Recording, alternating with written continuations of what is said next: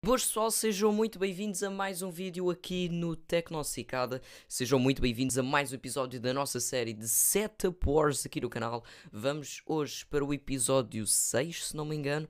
Acho que é o episódio 6 da nossa série Setup Wars e eu trago-vos mais setups para vermos. Ainda ninguém me enviou setups, por isso volto a dizer, se vocês quiserem participar na série de setup dos subscritores, então entrem na comunidade do Discord, vão à aba de Setup Wars, sigam todos os passos que é para depois poderem participar na série de Setup Wars. Repito que preciso de pelo menos 5 setups para poder fazer o primeiro episódio da série Setup dos subscritores. Agora sim vamos passar para os concorrentes de hoje nesta Setup Wars. Bom,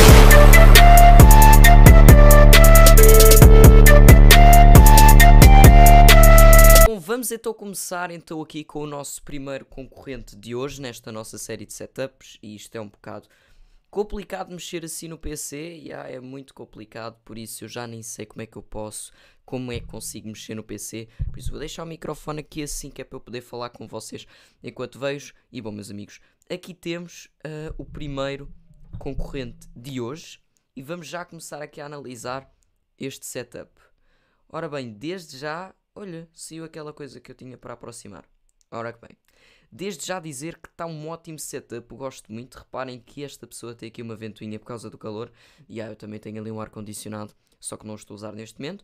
Está aqui com o relógio, já podemos observar aqui um microfone que eu por acaso vi, acho que é da New Steel. Depois temos aqui uma caixa daqueles dos Super Mario um Buda, penso que seja um, um, símbolo Buda, uma plantinha e depois aqui já na parte do setup temos uma luz e um vaso de flores, penso eu. Depois, deixa-me aqui ver, depois aqui, exato, depois aqui temos duas colunas para dar-lhe um sistema ótimo de som. Temos aqui o monitor, LEDs atrás, a webcam e depois aqui temos o teclado e o rato com o mousepad. Temos aqui a sua cama, penso eu que seja, a janela e a cadeira da Secret Lab, exatamente. Ora bem, em termos de PC, dá para ver que é uma caixa de NZXT e que ele também está a usar esse cooler de NZXT. E agora vamos ver a outra foto que este setup tem. E aqui está outra foto, outra foto que nos dá para ver assim com mais detalhe como é que é o setup, não na parte do rato e do teclado, mas daqui dá para ver melhor. Temos aqui um espelho, uma luz e um mini aquário, penso eu. Temos aqui o seu PC com a caixa, uma estante com livros e outro tipo de coisas, e aqui um quadrozinho, aqui uma, um garrafão de gasolina em miniatura. Está um bom setup, gostei em níveis de cable management, aqui analisando, vê-se aqui um fio de computador, mas também em cima da mesa penso que não tem nada, exatamente, penso que não tem nada e não tem, tem só aqui um fio, por isso em níveis de cable management está muito bom este setup, muitos parabéns a este concorrente, vamos passar ao próximo. E ora bem, aqui está o nosso próximo concorrente e como podem reparar também curto muito deste setup. É um setup clean, minimalista, é aquele tipo de setup com que eu mais me identifico e depois claro com uma boa máquina. Dá já aqui para podermos observar que temos um bom monitor, reparem é um ótimo monitor, gosto muito deste estilo de monitor, as bordas finas, está muito bom.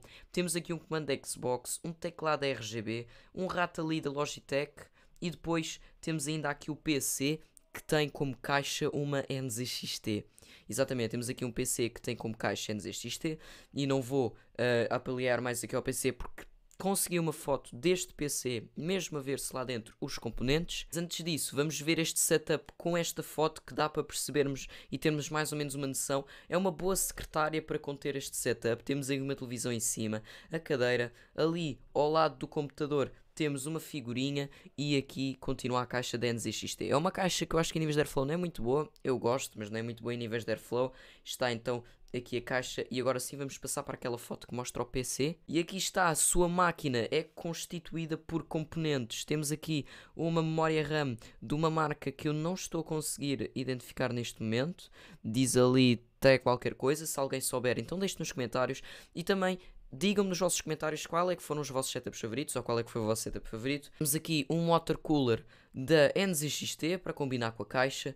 Pois mais aqui em baixo temos uma GeoForce RTX 3080 ou 3090 porque até é da Horus e tem aquela customização aqui.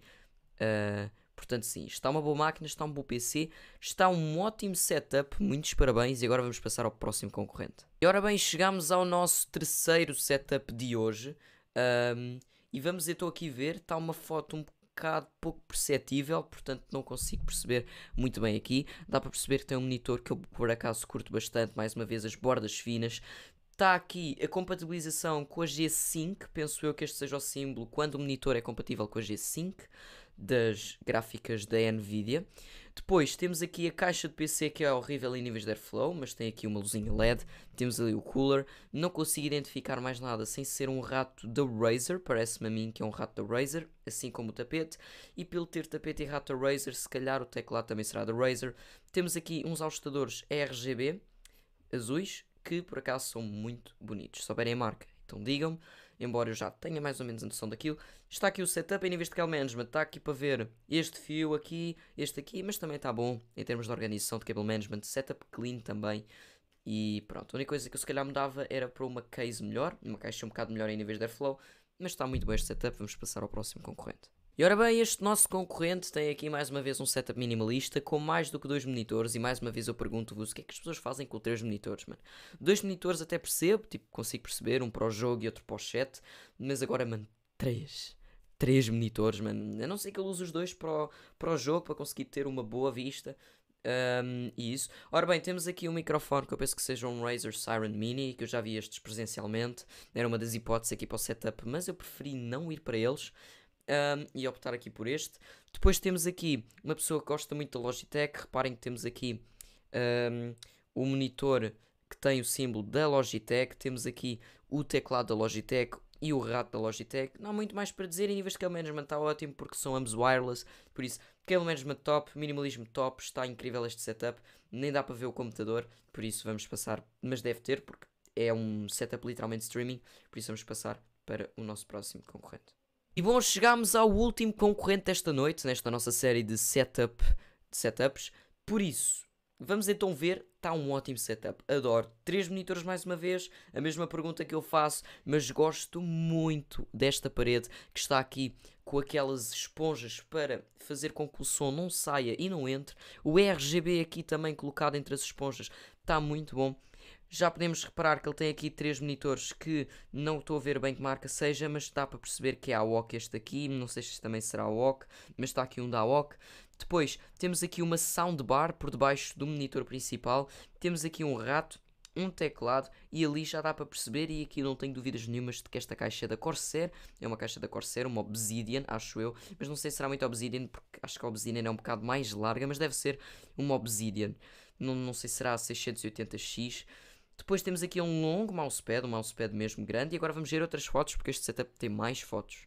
Depois temos a foto aqui do setup visto nesta perspectiva aqui de lado com os três monitores, aqui um quadro e o, e, o, e o RGB, os LEDs vêm até aqui.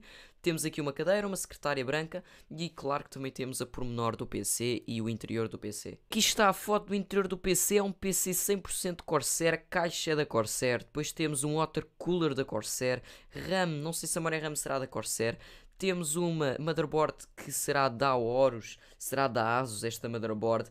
Temos depois aqui uma RTX 3070 ou 3080. Claro que também pode ser uma, uma um, motherboard da AMD, mas eu se calhar aposto mais nas Nvidia, mas também pode ser da AMD. Depois temos aqui mais dois coolerzinhos e a fonte de alimentação não estou a ver onde é que esteja, mas gosto muito do PC aqui por dentro, a iluminação é incrível, adorei este setup, adorei mesmo.